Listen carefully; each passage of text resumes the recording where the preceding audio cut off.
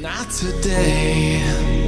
Not today. I put on my bravest face and say what I have to say. Looks can be deceiving.